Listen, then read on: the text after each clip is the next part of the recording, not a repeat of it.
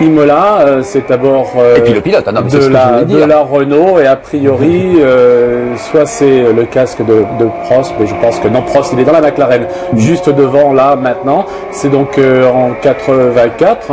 on voit sur donc c'est vous, ah non mais vous n'avez pas dit, oui, c'est vous, on vous a quand même réservé aussi cette petite surprise. Vous. remarquez un petit morceau de, de, de, tape de scotch blanc sur lequel il y a marqué euh, frein euh, neuf ou plaquette neuve. Et c'est un des problèmes techniques de ce circuit euh Imola à l'époque, avant qu'il n'y ait euh, des transformations sur le, le, tracé, eh bien c'était de, vraiment bien travailler son freinage, sa répartition de freinage. C'était un circuit essentiellement de consommation et de, freinage. On arrivait à la tosse avec une énorme vitesse et il fallait avoir un très très bon ralentissement.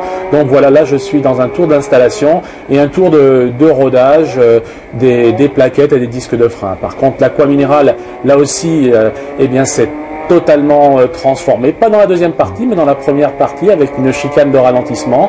À l'époque, le circuit était euh, essentiellement un circuit de haute vitesse, euh, motricité et freinage. La variante haute, on la reconnaît une nouvelle fois ici, était à peu près la même, avec des bordures somme toute plus importantes qu'elles ne le sont aujourd'hui.